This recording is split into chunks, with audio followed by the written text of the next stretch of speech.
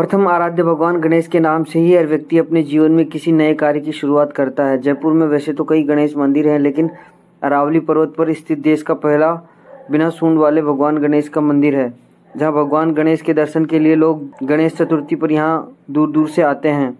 यह मंदिर गढ़ गणेश के नाम से प्रसिद्ध है।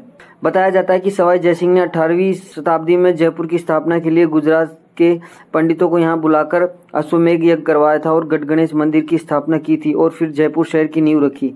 इस मंदिर में भगवान गणेश की प्रतिमा की स्थापना उत्तर दिशा की ओर की गई है ताकि भगवान गणेश की निगाह पूरे शहर पर रहे और उनका आशीर्वाद पूरे शहर को मिलता रहे। 500 फीट ऊंचाई पर तीन सौ सीढ़ियाँ चढ़कर इस मंदिर तक जाना पड़ता है। हर रोज यहाँ भगवान गणेश के दर्शन के लिए भक्तों का तांता लगा रहता है। इस मंदिर में फोटोग्राफी और वीडियोग्राफी पर पाबंदी है। आप बस भगवान के दर्शन कर सकते हैं, इसलिए 300 सालों तक यहाँ भगवान गणेश की कोई फ़ोटो नहीं ली गई है।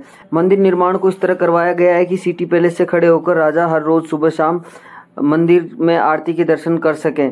पहाड़ी पर स्थित गढ़ गणेश गो, मंदिर, गोविंद देव मंदिर और सिटी पैलेस और अल्बर्ट हॉल एक दिशा में बने हुए हैं। जिसे दूर से देखा जा सकता है। यहाँ भगवान गणेश के दर्शन करने वालों की, भगवान की विशेष श्रद्धा रहती है। नियमित आने वाले भक्तों का मानना है कि यहाँ भगवान गणेश को चिट्ठी लिखकर अपने मन की बात भगवान गणेश को बताते हैं और फिर उसे पूरी करने के लिए साथ ही बुधवार लगातार दर्शन कर गढ़ गणेश से मांगी जाने वाली हर मनोकामना पूर्ण होती है।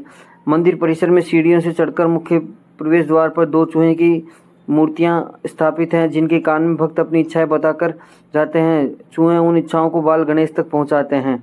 ऐसी यहाँ की विशेष मान्यता है। गणेश चतुर्थी को लेकर मंदिर दर्शन और पूजा, विशेष पूजा के लिए आइए बात करते हैं मंदिर के महंत जी से।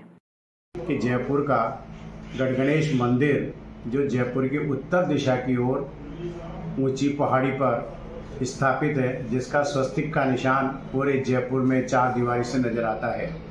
यह भगवान गणपति का मंदिर आमिर रियासत काल में सवाई जयसिंह ने जब जयपुर बसाने का निर्णय किया था, उस समय पर यह प्रथम गणपति की स्थापना करी। यह जयपुर का सबसे पुराना और ऐतिहासिक मंदिर है, जिसमें भगवान गणपति जो विराजमान हैं, वो बाल रूप गणपति के हैं। जिनके सूंड नहीं थी, क्योंकि पार्वती जी ने जब महल का बना के द्वार पर बैठाया था, उस समय पर उनके सूंड नहीं थी। इसलिए यह स्वरूप सभी कार्य के अंदर निर्विघ्नता के लिए पूजन किया जाता है। वह स्वरूप आज गणगणेश मंदिर के अंदर विद्यमान है।